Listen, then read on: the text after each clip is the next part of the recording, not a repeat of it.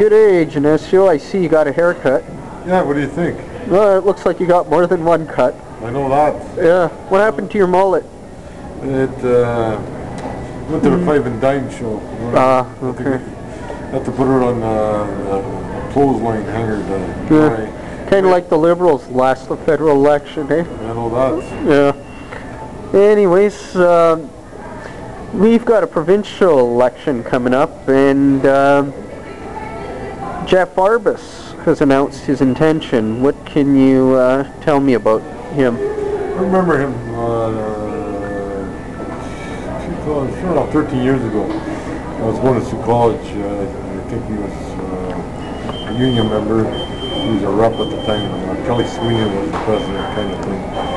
He's uh, a very soft-spoken man, very quiet, but uh, very uh, thoughtful and uh, pretty. He's pretty uh, quick on picking up on the issues. So. Know, now a lot of you look at the last set of polls, and um, none of the four party leaders provincially seem to be clicking with the electorate.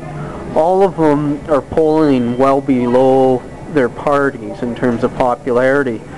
Um, and so it seems like this provincial election, and again, things can change.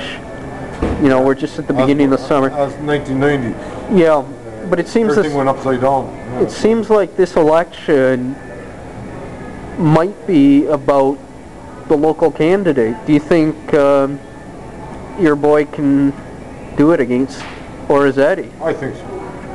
Why? He's got a record. His record is uh, abysmal and uh, disgraceful. They, it's, it's from 1995 to 2007, uh, blue and blue light. Yeah. They just continue the conservative uh, mantra with hydro, deregulation, uh, cutting on health services, and then paying themselves a $40,000 raise. Uh, Yeah. uh, and meanwhile, people on minimum wage, people on welfare, people with disability, you, you got to wait. Yeah. Meanwhile, good public pol- policy has to be on the on uh, sidelines. And meanwhile, they only take care of themselves. People won't forget because working people are smarter than these right wingers. But it was working people that put Orazietti in. Yeah, because if everybody had 20/20 hindsight, Pete, everybody be winning uh, 649. But now people see a record, that's a precedent. You know when a judge makes a decision, he looks at precedent.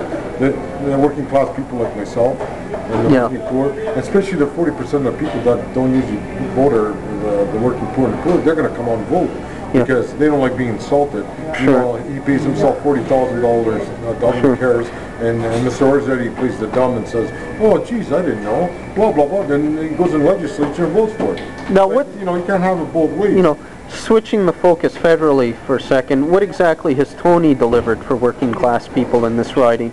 Well, he's done uh, uh, the budget in uh, 2005, uh, the better budget. Uh, Paul Martin turned a 4.6 billion dollar corporate budget into 4.6 billion dollars uh, for people, and also f- uh, fighting for, for daycare.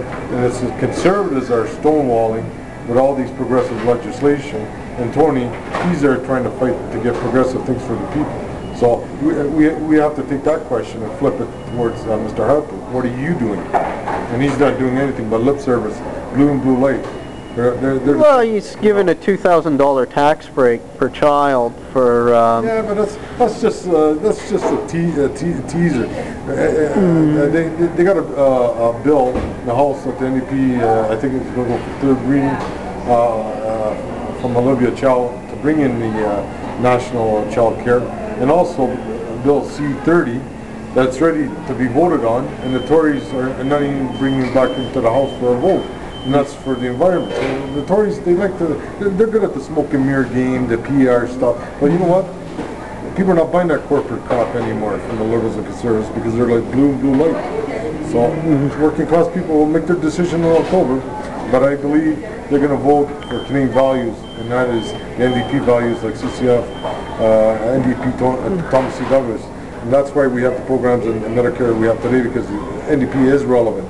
Liberals and conservatives are not. Ask Jimmy Gardiner in Saskatchewan. He fought Tommy Douglas tooth and nail against Medicare. yeah, but I mean, Jimmy and conservatives have a Gardiner, History, they have a history of being anti-progressive. Yeah. They're a backwards party and they don't give a rat's behind. what but in fairness to Gardiner, let's remember, he also fought uh, the Ku Klux Klan in uh, Saskatchewan when the Klan was at the height of its power. Yeah, but that was the right thing to do. But when, when you fight fundamentally against something that's progressive to help people to have uh, health health paid through uh, single uh, taxpayer system, and he fought against that, that's a that's a contradiction term. He did right against the KKK, but he does wrong to his own people.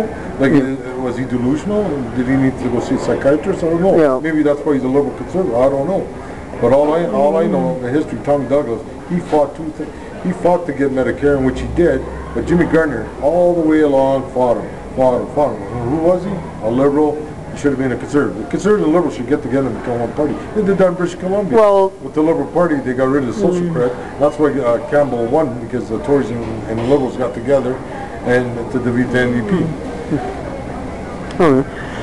So you're um, you're going to be pulling for Jeff then against Of course. The the NDP all the way, working class party, you know, and uh, uh, like I said, you know, we're not perfect, but I'll tell you one thing. With the history that the NDP has, uh, since the beginning of 1933 till now, the stuff we have today is because of the NDP. The Liberals and Conservatives, a, a flawed tooth and nail with NAFTA and free trade undermines our social programs and Medicare. And who brought them in? Brian Mulroney and John Chrétien. So, boom, blue light, bye-bye. Okay, thank you very We're much. all